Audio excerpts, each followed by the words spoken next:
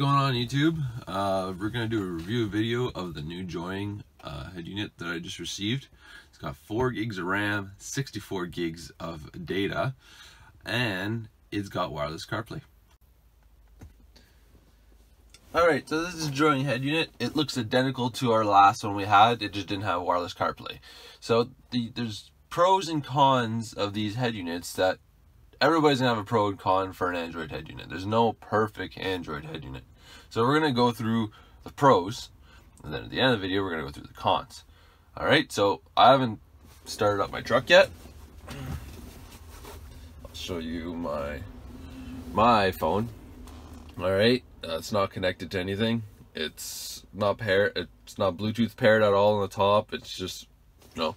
So we're gonna show you a boot up of how long it takes for the unit to boot up, and then the Bluetooth to connect, and then for Apple CarPlay wirelessly to detect my phone and connect. So it's on, and this has been sitting overnight.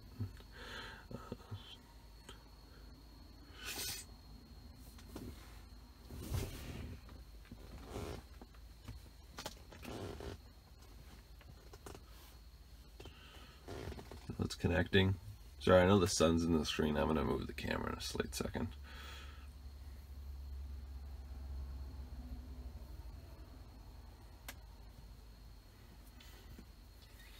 So I just want to make a note. I use everything through uh, CarPlay. I had apps installed. There you go.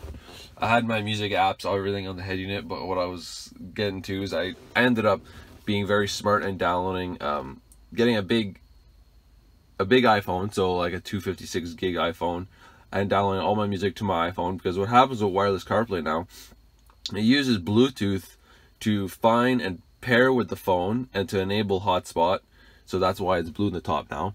So it uses Bluetooth to do that. But once you're do, you're connected, you can actually go ahead and turn off your Bluetooth. Even though my Wi-Fi is not on, the hotspot's on. So it's still gonna wirelessly transmit music. So if I go in my music and I would play a song and I The truth will set you free. So I don't want to play music because I get copyrights all the time. So um, it's actually Wi-Fi through a host. So what it's doing is it's transferring the music through Wi-Fi instead of Bluetooth. So you're getting the same quality as you would be plugged into a USB. So I had asked Joy, I'm like, well, because I have digital audio optical to my uh, DSP. Um, sorry, not optical, coaxial to my DSP, and I was wondering if it would transfer audio through Bluetooth, and I didn't want that because the sound rate of Bluetooth 4.0 is still uh, a reduction to Bluetooth 5.0, so I didn't want that. So I wanted to make sure it uses Wi-Fi, and they couldn't give me a straight answer. So I found out my straight answer by turning off my Bluetooth once it's paired and everything still works as it should. So it only uses the Bluetooth to pair first. And once it's paired, you can turn it off and do whatever you want. But I recommend keeping it on because once you do a key cycle, it won't um, it won't repair. So I keep my Bluetooth enabled. And I'll just show you real, real quick to do a key cycle. So if I did a key cycle, I can give it 10 seconds, whatever. But I'll do it, I'll turn it back on. And it's still paired. So there's one con to that. So say I turn off the head unit.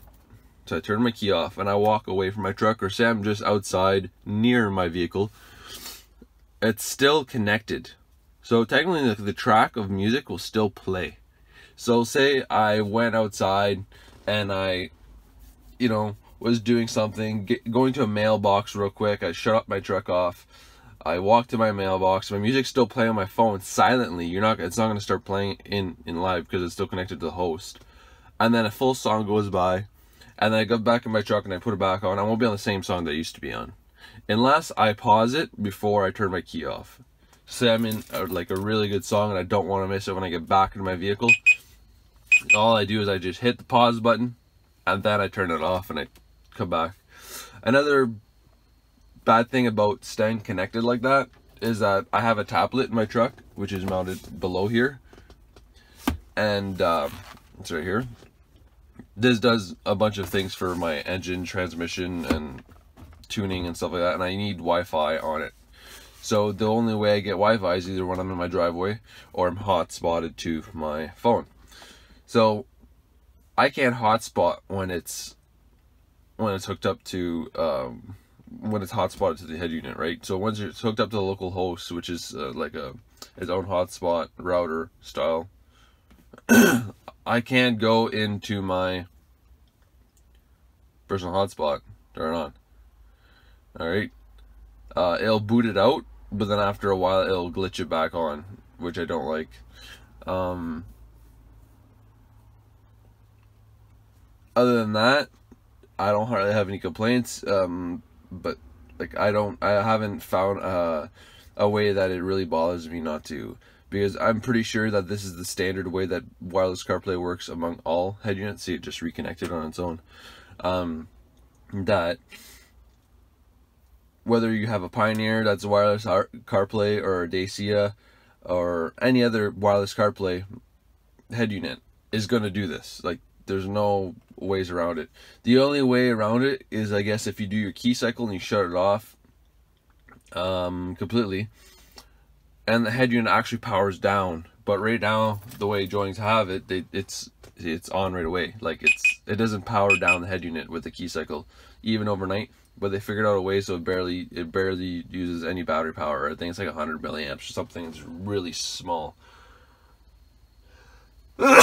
but you could um, change that in the settings so when you do your key cycle it turns off the head unit completely. And I'll show you what that's like. Um, say uh, I'll disconnect from my phone so I'll put in CarPlay um, wireless head unit mode. Watch. And then I will do a full unit reboot to show you how long that would take. I'll put my Bluetooth back on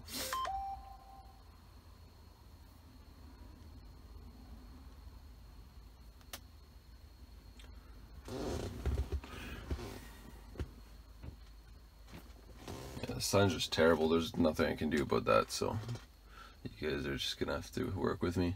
Once I start showing on screen stuff, I'll I'll make sure that there's better view. But you guys get the idea. So it's loading up.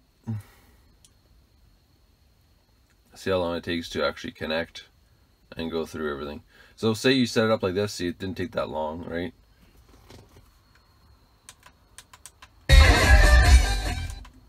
So it didn't take that long. So you can get it set up like this all the time, right? So it's not that big of a deal.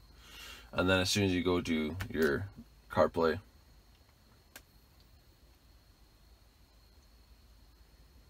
it's gonna it's gonna it's gonna search it. It says access point not okay because it's hasn't loaded the Bluetooth function yet and the access point yet, but it will, and once it does, it'll connect. So, but anyways, we're gonna get to other things. So I'm gonna turn all my apps off. Yeah, it's still connected. Um,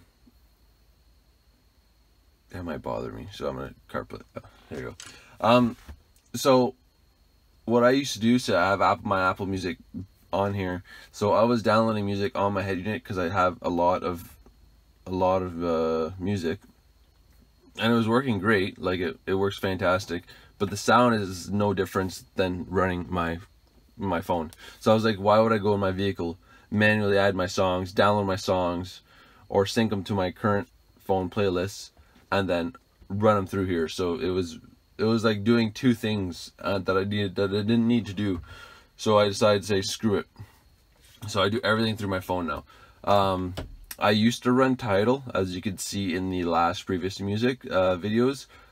Uh, the Tidal, the only thing wrong with Tidal is that um, it was getting really costly monthly. If you can, you know, have all the uh, the money in the world and you want to pay 25 bucks for Tidal Hi-Fi, um, go for it and you can do that. But it was getting pretty costly for me. So what I decided to do, I started, uh, I tried uh, Spotify, and I was listening to Spotify for maybe two months, and Spotify was I had on the higher quality when I downloaded the music, so I didn't like the quality at all of the Spotify tracks. I can hear it in my in my sound system because I have my DSP and I have my my sound stage up top here, my tweeters and everything, and a high end component sound system here. So it wasn't very clear. You can hear on certain instruments, say you're playing rock, that some frequencies were kind of muddy, and I didn't like it at all. So then I went to Google and I researched is Apple Music better than Spotify, even though the bit rate for the Apple Music is only two something. I forget what it was, it's over 250. But then the um, Spotify is 320 kilobytes per second. They said that the ACC uh, codec that Apple uses actually doesn't compress the audio as much. So I ended up trying Apple Music, and wow, what a difference! Like I'm not even kidding you day and night. And I used to have Apple Music before I had Tidal, and that's why I went to Tidal because like, okay, it'll be better. But wow, Apple Music is crystal clear, way more better than Spotify, and I'm totally happy with it. Like I wouldn't go to Tidal back to Tidal because that's how clear the Apple Music is, and it doesn't use as much uh, space in your phone because the recordings are under uh, 300 kilobytes per second, right? So so that's a big plus. And so it's got a good codec. It doesn't compress the songs as much. It keeps clarity there. That's all i care about. And uh, the instruments are, are clear as day. Um, like it's just unreal. So back to the head unit. The head unit other than that um, it does doesn't really have any more flaws other than that little connectivity issue than that it's been great to me um, they had a firmware update that you had to that you had to do. So if anybody out there is having a little bit of issues or a little bit of bugs with it, get the firmware update and you'd be good to go. But I haven't, but I haven't even used maps in here. Like I don't even use navigation. Uh, it's it's not even set up. So I use everything through Apple CarPlay, and then when you go on, everything's through my. I don't even use the radio, but the radio is clear clear, clear, clear, clear, clear.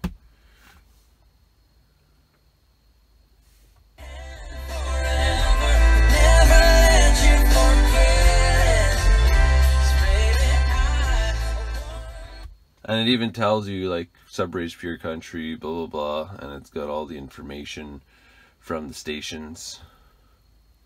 Some stations don't. See then, there you go.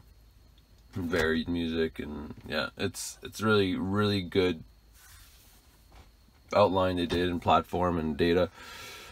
Um, the EQ, a lot of people are still asking me questions about this EQ thing. I don't use it because I have my DSP. Let's see if I can get a better view here. Um,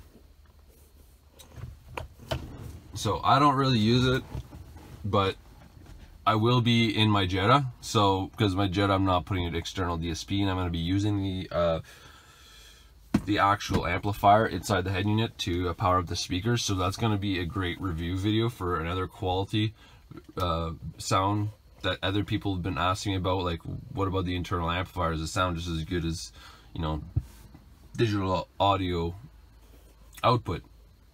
And I can't really speak for it right now because this is all I've I've ran is the digital output.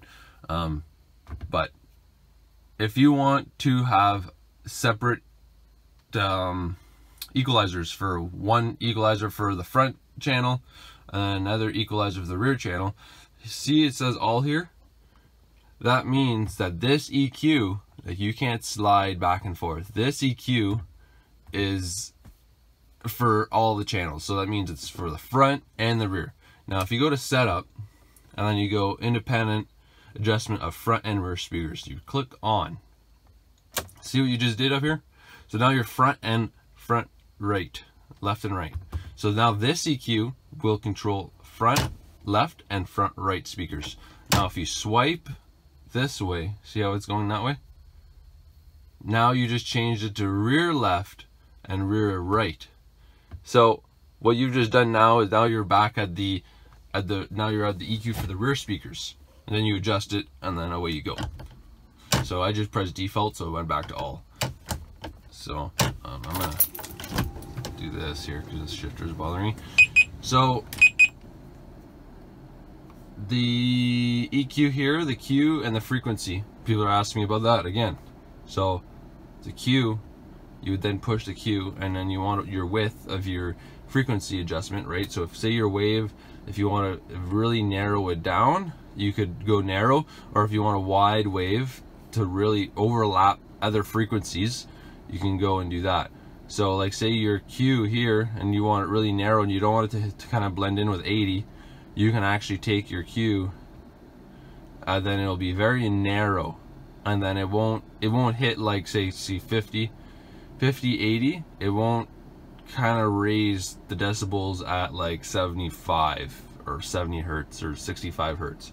It'll just be like concentrated between like 45 to 55 because your Q is very narrow. If you guys don't know what the Q is like just YouTube some videos get familiar with how to adjust amplify uh, amplifier frequencies DSP frequencies and just just do a lot of research because this is like a whole another battlefield of things to learn about uh, once you get familiar with it you can do it by ear but I highly recommend you um, this is what I bought so it's an audio control microphone all right so what this is is a live RTA so if you don't know what an RTA is, again, research it because it's hard to explain to a million of people that watch the videos. What's an RTA? Where do I get it? Blah, blah, blah. So this is the product number, SA4100i audio control. Go on their website, research what it's for. Uh, it plugs into the iPhone, so it's got a lightning cable. You get the app, you put it right where your driver's seat is, and there's a microphone. And then you'd play pink noise. What pink noise is, is all the frequencies at the same decibel level at the same time. And then when you look at your phone with the app, with that microphone, you'll see, oh, 500 is higher than 800. Oh, I'm going to tune 500 down to make it level. Because once music gets to your ear, you want everything to be exactly arrive at the same level at the same time, right? So you can use that RTA to do that. Um, the surround uh, face uh, space, I, I use it sometimes. So I put it on. I don't, because I am uh, digital audio coaxial output, the rear don't work for me. So what it does, it just concentrates two left left and right front channels. So it'd be left and right. So that's my, my sound delays right there. So um, some songs it sounds amazing on and then some songs because I already have time delay on my DSP so it did some songs it just doesn't it over time it just is like oh it doesn't sound like I used to set it up so some songs it depends on the track that's been recorded um, bass enhancement it's just like a bass boost so say you want to uh, concentrate on a bass boost at 86 hertz you would then put at 86 and add a decibel for bass boost to come up. And you're doing that for front, and then this one would be for rear. And that's uh, what would be another nice thing is they've put uh, front here and a rear here, but they're they're still working on a great Uh, platform software, right? So you got to give them time, and they'll they'll get the hang of it. Same thing for surround should be actually called time delay. And then once you put it on it should be time delay not surround space. And then rear horn surround strength it's like I don't mean they know by horn. Do they mean tweeter? Rear tweeter surround strength? You add a dec decibel at a certain frequency when you bring this up. So I don't know I, I can't really vouch for this feature because I don't use rear because like I said my digital coaxial is only these two um, this is just a balance if you want to be driver. It just balances. It doesn't actually time delay anything. Uh, then bass filter. So this is your high pass filter. So this should be called high pass filters or something like that. Um, and then this one here is for the front. So you're adjusting this slider according to the front, and you're adjusting this slider according to the rear. So if you want a high pass, uh, any frequencies below 36 it will it will go So like the average car, if you're not running, if you're running subs and you don't want your front speakers to distort and like they crazy at higher volume, I'd probably filter it off at like 60 around there, both front and rear, and then that would then take the bass away from your front speakers below that frequency because technically those speakers are only capable of playing up down to 60 hertz. Anything other than that you're gone from mid bass and you're now at sub bass so it's below that is where you want to concentrate your your subs to be at. So then you would set them there. I have all that stuff done in my DSP and on my audio control DSP in the back so I don't need to play with any of this stuff um, the odd time if I find that the, the track's a little harsh I'll, i might bring down the EQ just a bit just to kind of like make this at the track sound good for the meantime, but I don't play with it. Um, Bluetooth. Bluetooth audio works great. Um, I don't think I'm connected right now.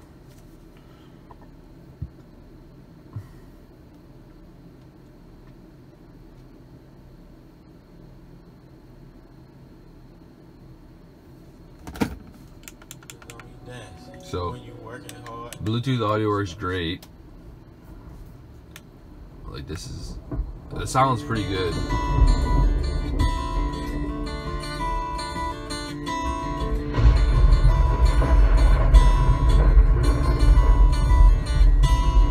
Three thirty in the morning, not a soul in sight. City's looking like a ghost town on a moonless summer night. So yeah, Bluetooth works good. Um, the phone stuff, again, I don't use the phone stuff because I have to enable show contacts in here. I've never ever done it, so this would be the first time. I've seen it somewhere here.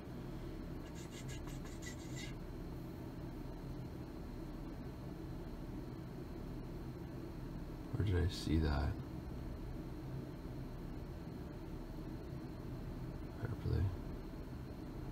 I seen it somewhere. There was a spot in here that I had to say allow contacts to sync.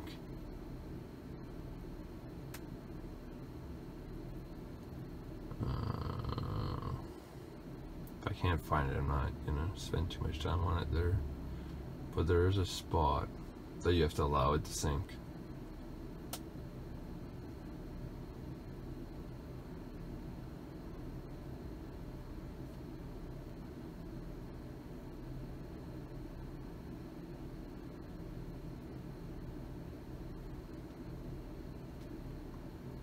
There's also a feature here. Um, iPhone, when your phone is nearby and you start your car, CarPlay will might start, you can turn that off and allow you to prompt it. So if you uh, would turn on your car, it, it would say open iPhone to activate, then you would say accept every time. So if you don't want it to disturb you, like probably what what's happening to me, I can turn this off and it'll prompt me every time I want to connect. Um, other than that, I swear it was here somewhere. I've seen it. It's always like that too, right? You see it. And once you really need it, you can't find it. Anyways, we'll leave it at that for that section. Um, I got numbers there to my recent phone numbers. Um, setting the pairing passwords, you can change it, confirm. You can set auto answer so as soon as there's a call coming in, it picks it up right away. Change the device name uh, and reset your Bluetooth. So this uh, panel here, so the Bluetooth panel, this is where all your Bluetooth happens. There's no Bluetooth in Android settings. So what they did is they took away the settings in the Android settings for Bluetooth which I don't like because there's no data communication. So if there's any DSPs that you guys are buying or any uh, aftermarket device that connects to Bluetooth and you need data to control it. So like for example, if you have a light bar and you buy this fancy module that you're putting in your vehicle and you connect it to Bluetooth and you can download an app and select on, off, or a bunch of fancy, that's data transfer between a module and a module. You cannot do that on Joying head unit. So if you ever buy a device like that, find a device that's Wi-Fi that you can connect to Wi-Fi because then you'll you'll have better luck getting it to work or USB you have better luck getting it to work than um, the Bluetooth. The Bluetooth is very limited to um, music audio and contacts and phone stuff. It's that's it. It's all that it's for. They don't want anybody using it for anything else. I think what happens, why they did that is because it would probably crash your phone Bluetooth if you did data transfer with another device while you're on your phone. So they're probably having issues with it and they just said, screw it, we'll disable Bluetooth for anything else except for the phone. And I think they have the OB2 uh, data link thing. Um, that's another thing. When you're hooked up to Z-Link, wireless CarPlay, and you're using the hotspot on here, you have no Wi-Fi.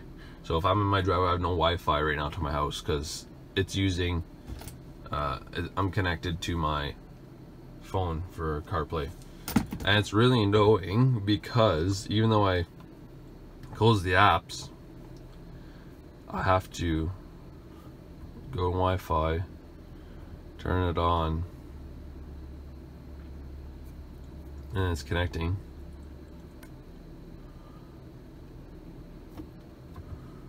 So now I'm connected to Wi-Fi as you can see. But as soon as I would hit this, see Wi-Fi is connected on the top.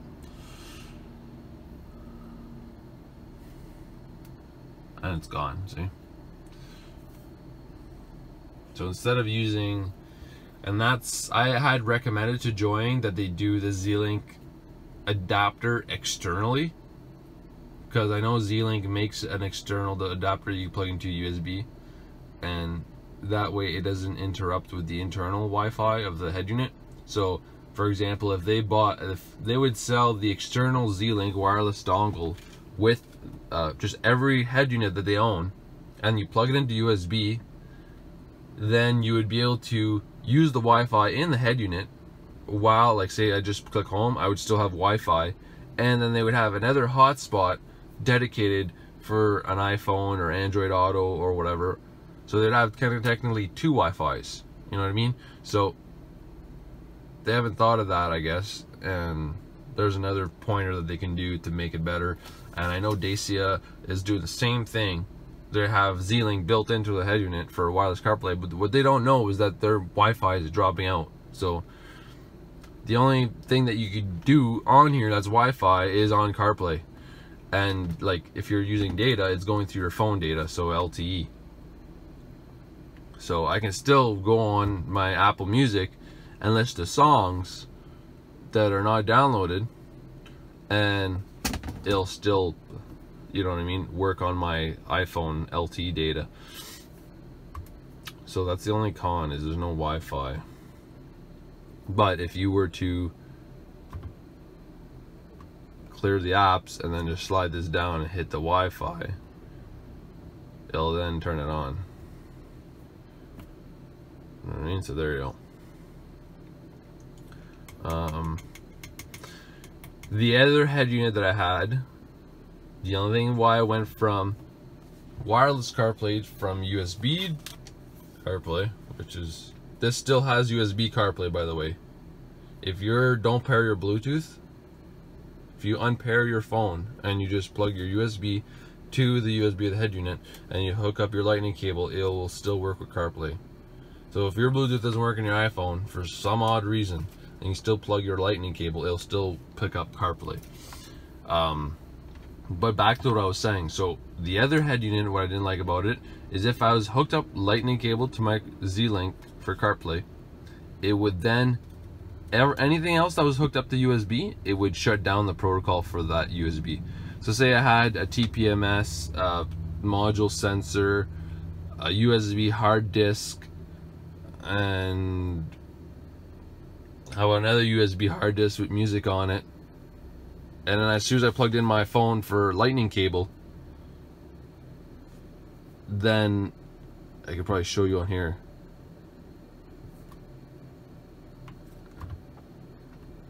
then all my all my USB hooked up stuff would be gone. So uh, USB ones, USB twos, USB three, they they would just they would disappear. And as soon as I unhooked my lightning cable, they would still be disappeared until I actually went to the multitask screen and clicked empty memory. Then you'd see, oh, oh USB devices are connected. So Z-Link has priority over USB. So with the wireless CarPlay, that's not the case. I can have all my USBs hooked up, which I don't in here because something I have to my USB drive. It doesn't interrupt the USBs that are connected to the head unit. So that's why I made the switch. And then the other reason why is because I didn't want to install a bunch of apps on this thing and just, it was too much uh, work to keep it organized. That's why I don't really have a, a different car uh, launcher because I don't really care about it. As long as I get in my truck and my CarPlay pops up every time and I have good sound quality is my huge, then I'm not too worried. You know what I mean? So those are the only two big things. Um, other than that, I'm trying to think. Control. There was another thing here with control. So I don't know if I mentioned this in my other video. Uh, steering wheel controls. If you don't click your uh, check mark after you've done your your programming, some buttons won't work according to what the symbols are. So this here is my backup camera, right? So I have it programmed. So when I press my one, it's because I'm in here. So when I press my one, my backup camera comes up. And I actually have bird's eye view 360. So right now it's it's a separate system. So right now it's recording the front all the time. So when I'm driving anywhere I am, it's recording the front. So that's sweet, right? So if I want to see the back or the sides, so this is the back and then the sides, right? So see there's a recording sign on top. It's always recording, doesn't matter. If I put on this, it's gonna record this one. But by default, it's the front. And then when I'm in reverse, I set it up so it goes to the back. So when I'm backing up, it's recording. And if I put my signal light on, I could technically tell it to come on and, and shoot this camera on, like the left camera on and the right camera on, but I didn't want to go that fancy because I have to put a few relays due to polarity issues with the, the vehicle's ground switching instead of positive switching. So I just didn't bother so yeah, so steering wheel controls, if you don't check that check mark, like if I, that's the only one I seen that didn't work. So if I hit that, it was, and I press my one, it would, it wouldn't go into my back, and it would pull up something else, which is weird. Um, another thing I would like for Joying to make in the steering wheel control functions is this return button on the top. I would like this button to be somewhere here. So if I, if I'm on my steering wheel and I'm like in the screen, I can return back to where I was, you know what I mean? And that's that would be great for like say you're in a in a in a music player app and I'm driving and I'm like here and I'm looking at audio and I say screw it and I just push the steering button to return. I could return.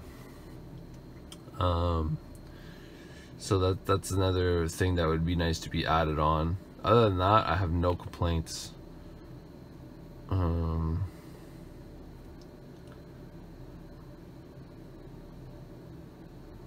let's see if I'm hooked up to Google Maps. I mean, uh, CarPlay. I want to show you guys maps. So when I'm driving around, I just hit maps. I don't, again, I don't use the GPS antenna. Um,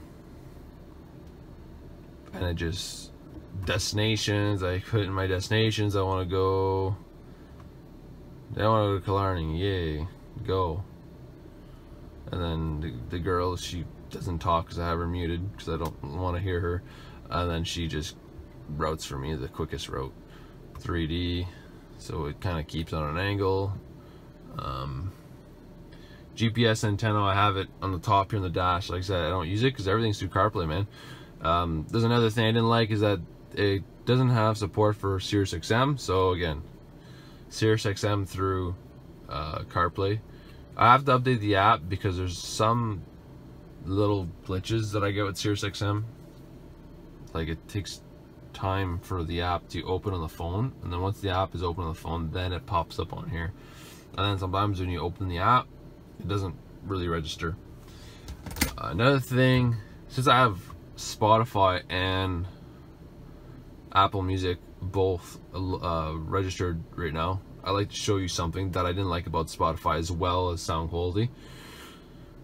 So I'm on Spotify and I downloaded some music, whatever, and I go in my library. She's gonna talk. I don't want her to talk. Um, I go in my library. It's like songs or artists or albums. That's it. That's all you get. I don't like that. So like songs, like if I'm driving and I like a song, I press like, yay, it goes there. But it's so unorganized. Like, how does that even? That's not what I want. Or playlists. Yeah, I can make playlists as well, but it's not as feasible. So, Apple Music. If you go on Apple Music, I can like Sam, I'm to a song and go up. What's up next? It'll tell me what's up next because I'm in songs. See, I have recently added so I can see what I recently downloaded, which is great because say you're listening some songs over and over, you have recently added. So I can click that and holy shit, there you go. So I can, these are all my top songs right now because I just added them, right? Those are the ones I will listen to the most. And then you have your playlists, which I'm, you know, listen to your playlists, uh, artists, albums, and songs, which is not what they have on Spotify. And I can just go by, like, say I want to listen to wonder if I have Garth Brooks on here. But, oh, it's G for song. So you're alphabetic and you just select your number and it starts with the number of the songs. Um, so you can go by songs or say you want to be offline and you don't use your data when you're driving. You go downloaded music and whatever is downloaded, then it still creates another background for recently added playlists, artists, albums, and then songs. Um, and then that's one thing that they don't have is songs. That's why then I could I can just search by songs. Whatever's downloaded on here, it's all here.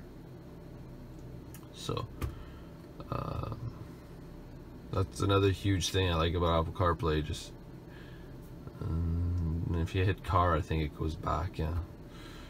Um, I don't listen to podcasts or audiobooks even Waze I don't even think I set it up.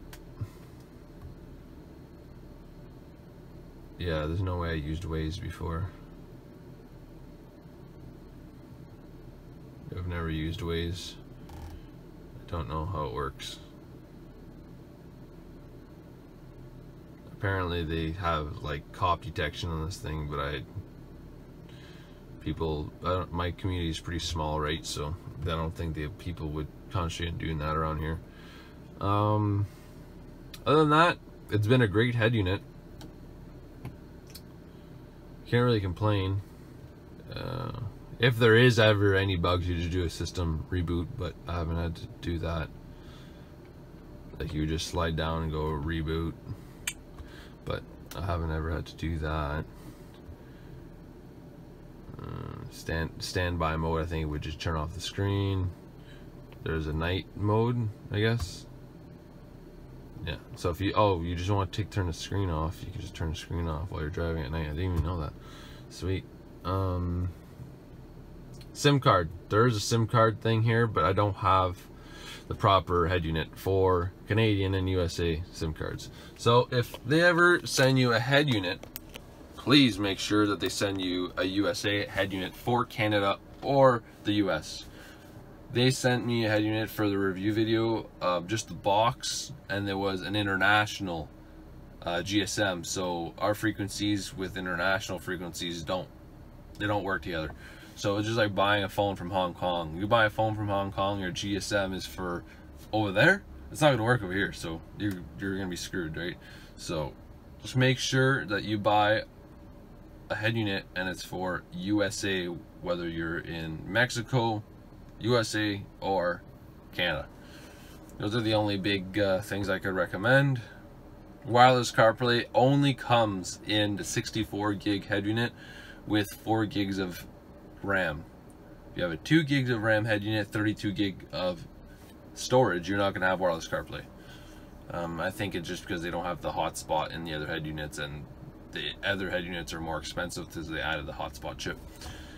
But like I said, I'm pretty sure that there is a dongle out there that has the wireless um, CarPlay, and then so if you use the other head unit with um, with the USB issue when you hook up your lightning cable and you just add Apple CarPlay wirelessly with a dongle externally, it won't do that USB lockout thing because it's using USB to enable uh, wireless CarPlay, right? So I think that would work. That's what I'm going to try on my next head unit in my Jetta. Other than that, I don't have any complaints about the head unit.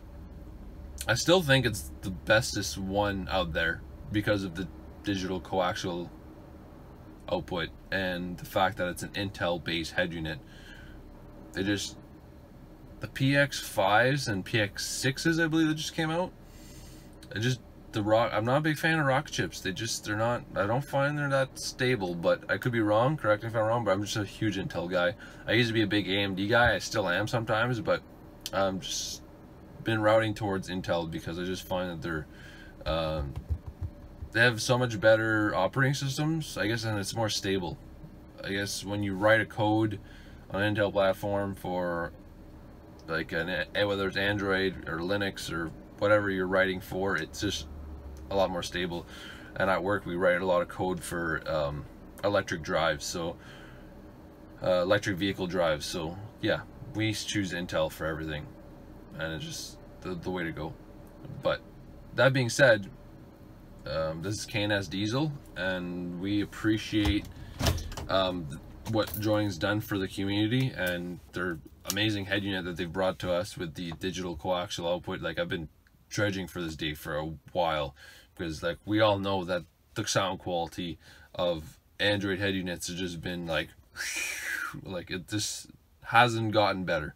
But with this Intel processor, the RCAs, even though the low voltage RCA, that's another thing I'd like to bring up.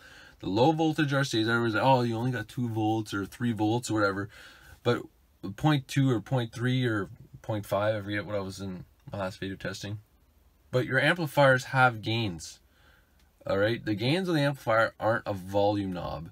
They're a, like you're supposed to match your voltage to your RCAs. All right, so I'm gonna show you my gains of my amplifier where they're hooked up to. All right, and I'll even show you that my gains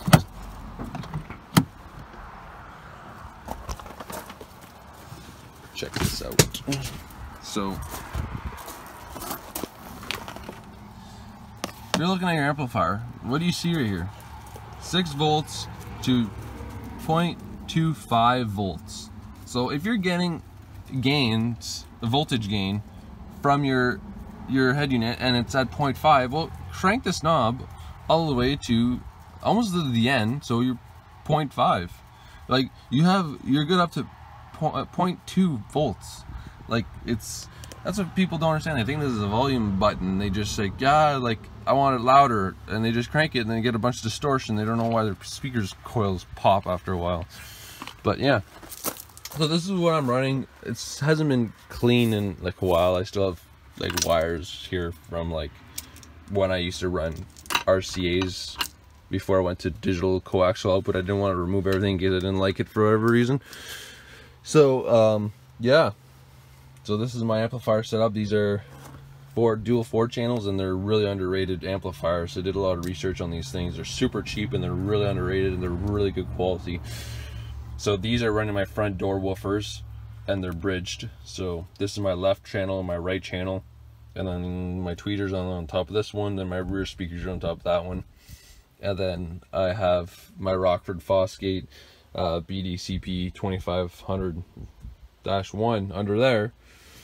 And then back here is my ported my ported box. It's uh, 215s in a bandpass box, fourth order, and it's in the back of the truck. So and it's ported at like it's it's a it's a bandpass fourth order, so they're sealed and ported. So I think it's ported at like 50 hertz or something like that. It, it, it gets pretty loud in here.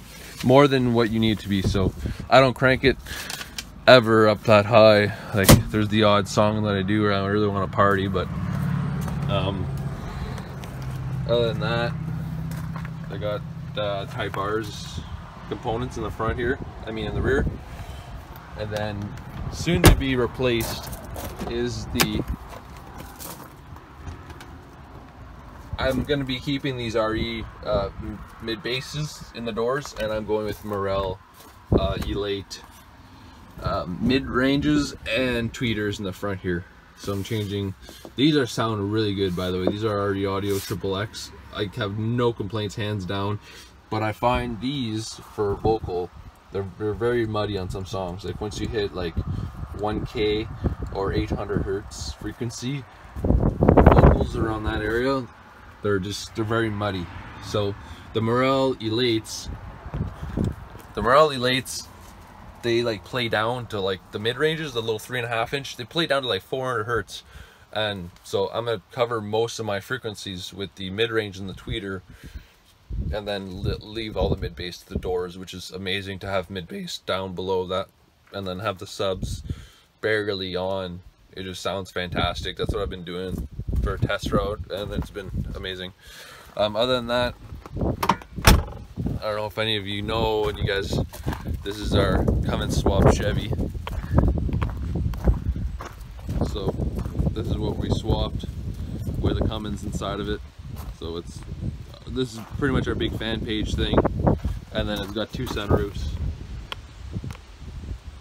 from uh, from Grand Prix and then we have a Toyota Cummins swap Toyota that we're doing twin turbos on right now and that's what we're uh, mostly building on right now as well but yeah so thanks for uh, tuning into this video like I said I don't really have any complaints on the Android head unit. I still think it's a great head unit. I still think it's the top dog to buy. Um, some people may not think that, but I still do. So yeah, like, subscribe, and if you like our videos, comment any questions. We'll tr we try so hard to get back to everybody, but we just, sometimes we just can't. Um, so bear with us, and we'll eventually reply to you if we can. All right, thanks.